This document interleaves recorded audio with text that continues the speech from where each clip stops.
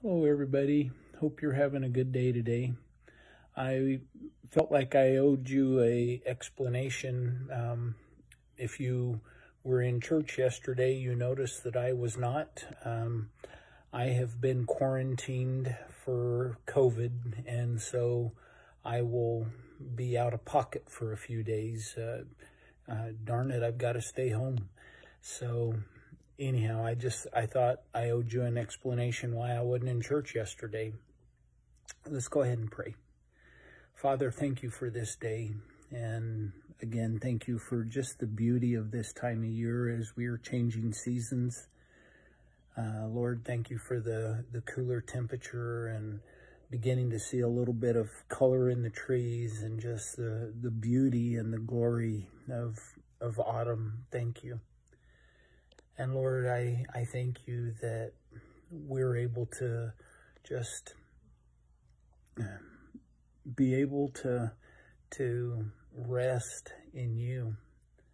Um, the reality is, is that uh, we can rest in any situation. I, I think of Daniel in the lion's den, that he slept among the lions because he knew you were in control. And, uh, you know, it doesn't matter the circumstances that we find ourselves in. The, the question, Lord, is, do we trust you? And so I just thank you, Father, that you are a God who we, we can trust completely, absolutely.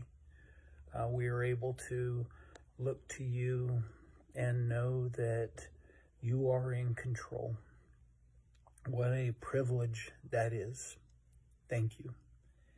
And Father, I just, I thank you that, um, that we're, we're able to rest. Uh, you know, that, that word carries so much significance, doesn't it, Father?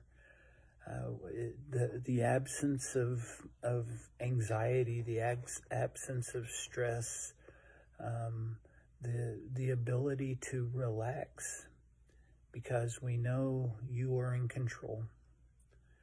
And, and Father, I just, I pray for each person that's a part of this prayer time because all of us have issues that cause stress and concern and sometimes even full-blown alarm. But you have said in you we may have peace in you we may rest. And so, Father, that is my prayer, is that you will help each of us to just rest in you. Thank you so much. In Jesus' name I pray. Amen.